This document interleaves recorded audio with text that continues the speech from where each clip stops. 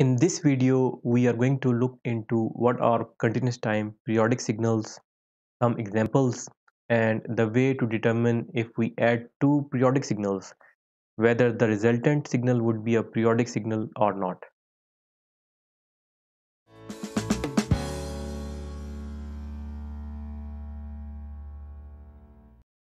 So for the periodicity of continuous time signals, it means that we have a signal say x of t. So this signal can only be periodic if it satisfies this condition x of t plus t right? So where capital T is a shift in time right? And the condition is that this t should be greater than 0 so if there's a shift in time such that that shift does not affect on our original signal so this means that the signal is periodic. So let us take one example of a cos function.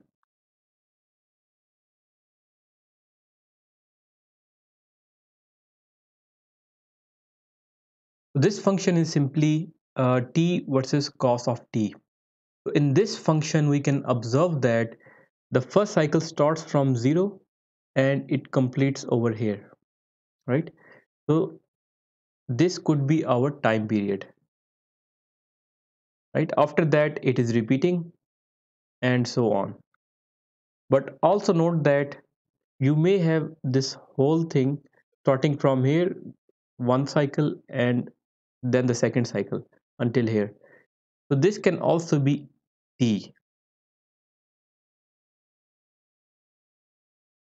but the smallest t after which the signal is repeating is called the fundamental period.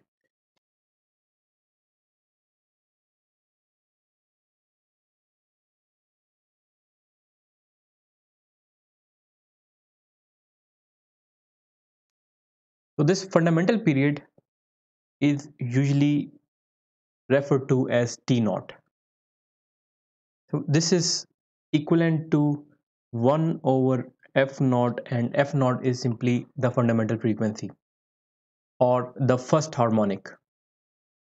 So we have mentioned that a signal can only be periodic if you time shift it by a value of t and after time shifting you're obtaining the same signal as original signal which is x of t.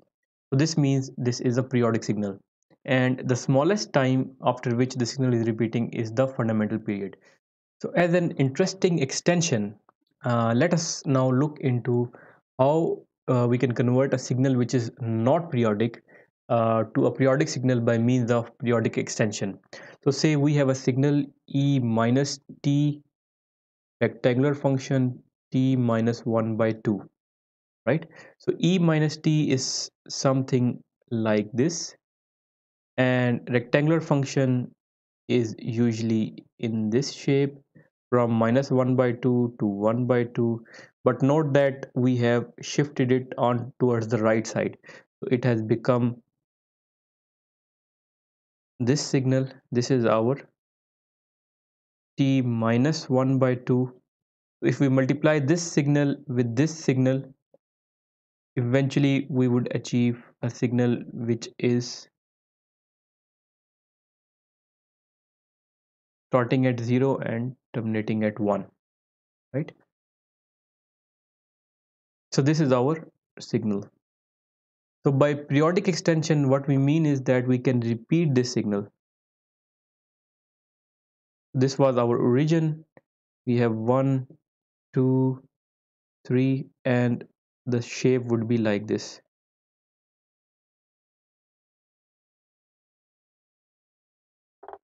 now this has become a periodic signal. Say this is y of t. So mathematically speaking this y of t is nothing but a summation right of all of these signals. We can write a summation right and the first uh, function is an exponential function t and this function is repeated at different time intervals right so let us say that uh, they are t minus nt. So capital T is the time period and n is the integer value after which it is actually shifting, right? So we have a summation n equal to minus infinity to infinity t minus nt. And with this we would also have a rectangular function t minus 1 by 2 minus nt. So this was just one example of how we can make one non-periodic signal to a periodic signal by means of periodic extension. Let us further understand uh, the concept of periodicity of continuous time signals by means of some examples. So the first example is say we have a signal x of t which is 3 cos 4 t plus pi by 4 and we are interested in finding uh, the time period of this signal. Let us do this uh, analytically first and then we'll uh, see some visuals to understand this function. We have mentioned that x of t can only be periodic if it is equivalent to x of t plus capital T. So let us see for this specific problem. We have 3 cos 4 t plus pi by 4 and this is equivalent to 3 cos 4 t plus capital T plus pi by 4 so this signal can only be periodic if we add a 2 pi to it 2 pi and some integer value k so this 2 pi would be defining the periodicity uh, by means of which it would complete one uh, 360 degree or 2 pi cycle. So this is equivalent to 3 cos 4 t plus pi by 4 plus 4t. So this means that this 2 pi k can be equated to 4t. So 4 t is equal to 2 pi k this means that t is equal to pi by 2 k So this means that this signal would be repeating uh, after t time units and that t is depending on the value of k where k is simply an integer. So this belongs to some positive integers. And if this k is equal to 1 so this would mean that t naught is equal to pi by 2 or k equal to 1 so this is our fundamental period. And naturally the first harmonic or the fundamental frequency is 2 by pi now let us uh, visualize this signal. This is simply a cos function which has an amplitude of 3 and the time period from here. That is if you start from here so this would be uh, pi by 2 but we also have to consider this.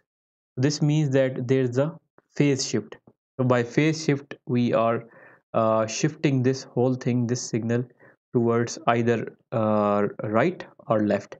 So over here this is time advance so we would be shifting towards left. This means that if we shift towards uh, left uh, by pi by 4 so our pi by 4 would be over here. So hence eventually the signal is something like this so it's starting over here. So this is our pi by 2 and again the amplitude is 3 so this is plotted over here and you can observe that this is the periodic signal. Now let us take the second example. Over here x of t is equivalent to cos 2t minus pi by 3 whole square. So we have to find the fundamental time period of this uh, signal and uh, of course that would indicate that this is a periodic signal so let us see uh, how to solve that. First this signal is a square right? So let us uh, simplify this by means of uh, trigonometric properties. Again, that is cos square theta is equivalent to 1 by 2 plus 1 by 2 cos 2 theta. So this means that x of t would be equivalent to 1 by 2 plus 1 by 2 cos 4t minus 2 pi by 3 so this signal is definitely periodic. And this signal is just giving a DC offset of 1 by 2 so this is uh, increasing the amplitude of this signal by 1 by 2 so this would not affect the periodicity of the signal the overall signal. So let us see the uh, fundamental time period. So from here as before uh, for t plus capital c t so we can say for capital t is equal to 2 pi k and again the time period would be equal to pi by 2 times k and t naught is equal to pi by 2 so this signal is periodic and the fundamental time period is this one. Now the third signal is a very interesting signal. Over here we have two sinusoids 5 cos 12t plus pi by 2 this is our first signal. And then we have a second signal 3 sine 5t minus pi by 2 so we know that this is a sine function. So this is periodic and this is also periodic. But what happens if we add these two periodic signals together? So would the resultant signal be a periodic signal or not? It's a very interesting question. And there are series of steps that we have to follow uh, in order to understand whether this is going to be periodic or not and what is going to be uh, the fundamental period if any for this signal. So note that not all periodic signals when they add up together they become a periodic signal. So we have to see the conditions. So the first step that we have to do over here is to check whether these two uh, the summation of these two would be periodic or not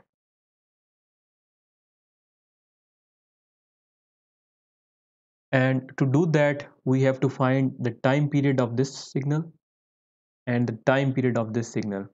So from here we can say that 12 t1 is equal to 2 pi k and hence t1 is equal to pi by 6 and we have set k equal to 1 that is the fundamental time period. And similarly from here we can say that uh, 5 t2 that is the time period for this signal is equal to 2 pi k and that is t2 is 2 pi by 5 right? And we have set again the k equal to 1 right? As a first check t1 by t2 this should be a rational function. So this means that if in the numerator we have an integer value and in the denominator we have an integer value then it is a rational function. And if not then that means that this is not a rational number and hence the signal would not be periodic. So for this specific case our t1 by t2 is pi by 6 2 pi by 5 5 by 12 so this is a rational number integer divided by another integer so the first check is okay so this is definitely periodic So in step 2, we have to convert to frequency domain. That is, we would have f1, which is 1 by t1. So we would have 6 by pi. And similarly, we have f2, which is equivalent to 5 by 2 pi. Next in step 3 we have to multiply f1 and f2 by a value such that f1 and f2 are integers. So over here we can normalize this by multiplying with 2 pi. So if we multiply with 2 pi this will become simply 5 that is an integer and this will become 12 that is again an integer right? So let's do that.